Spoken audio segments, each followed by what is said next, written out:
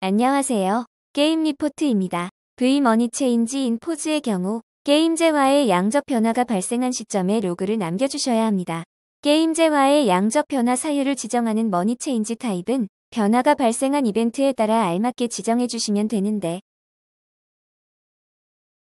만약 정해진 목록 중 적당한 사유가 없다면 money change type을 ETC로 지정한 후 change name에 이벤트 명칭을 남겨주시면 됩니다. 이때 남겨주신 정보를 통해 컨텐츠별 게임재화 획득과 소비 정보 확인이 가능해집니다.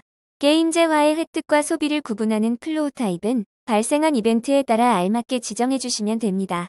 게임재화의 종류를 구분하는 money type도 발생한 이벤트에 따라 알맞게 지정해 주시면 되는데 같은 타입으로 여러 종류의 재화가 있더라도 money name에 의해 각각의 재화로 분류되어 분석이 가능합니다. 그 외 필수적으로 적용되어야 하는 정보로는 contents name과 contents code, amount가 있습니다. 아이템에 의해 게임재화 변화 로그가 발생한 경우 컨텐츠 코드와 컨텐츠 네임에 아이템 코드와 아이템 네임을 남겨주시면 됩니다. 예를 들어 상점의 단검을 판매해서 재화를 획득한 경우 단검의 item code와 item name을 남겨주시면 됩니다. amount 정보가 남지 않으면 변화된 재화량을 파악할 수 없게 되니 반드시 정확하게 적재해 주시기 바랍니다.